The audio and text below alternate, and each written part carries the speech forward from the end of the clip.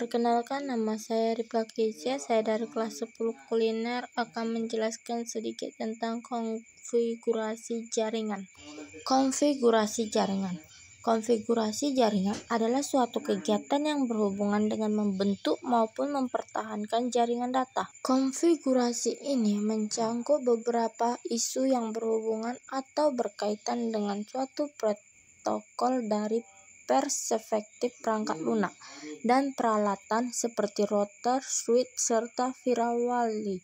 Konfigurasi jaringan memiliki berbagai jenis. Nah, mari kita lihat apa saja itu. Yang pertama ada konfigurasi Bluetooth. Bluetooth merupakan suatu teknologi komunikasi nirkabel jarak pendek yang memiliki fungsi untuk mengirimkan suatu data antar perangkat maupun ganda. Bluetooth memiliki tujuan memberikan kemudahan kepada pengguna untuk menghubungkan suatu perangkat yang ingin dihubungkan atau disambungkan. Jika tidak ada kabel, Bluetooth dapat digunakan sebagai alternatif untuk menghubungkan suatu perangkat.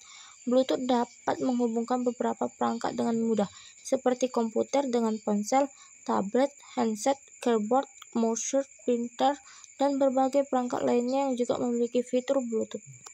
2. Konfigurasi Bluetooth Apabila ingin menggunakan laptop namun tidak ada WiFi, dapat diatasi menggunakan hotspot seluler untuk terhubung ke internet dari laptop dengan cara mengaktifkan hotspot di seluler di ponsel untuk menghubungkan perangkat lain ke internet. Langkah pertama yang dilakukan adalah memilih menu hotspot portable di menu pengaturan. Kemudian, atur hotspot portable. Pengaturan hotspot digunakan untuk mengatur SSID ponsel. Yang terakhir ada konfigurasi LAN. Konfigurasi jaringan ini hanya dapat dijumpai ketika sistem mendeteksi kartu jaringan pada komputer. Penggunaan komputer dapat mengatur sesuai dengan konfigurasi jaringan yang dimiliki. Definisi jaringan yang dapat dideteksi oleh sistem secara otomatis. Beberapa jaringan yang memiliki layanan DHCP atau singkatan dari Dynamic Host Configuration protokol akan mendukung sistem yang tersambung dengan data konfigurasi secara otomatis. Dengan demikian, hal tersebut dapat mengaktifkan semua antarmuka jaringan.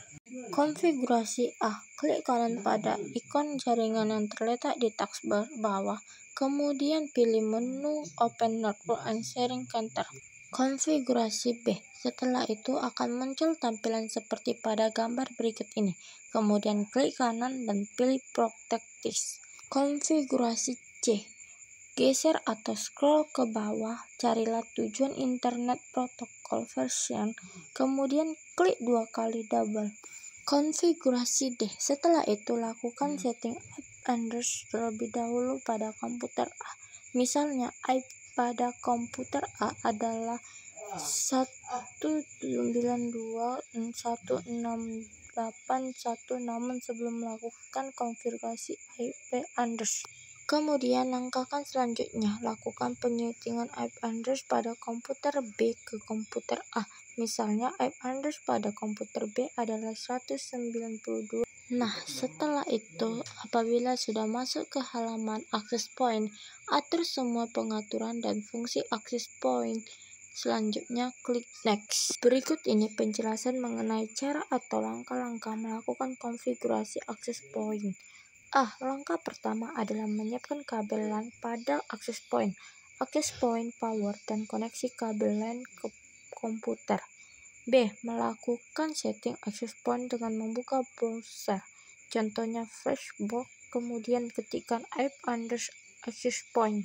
Lalu geser atau geser ke bawah, carilah tulisan Internet Protocol version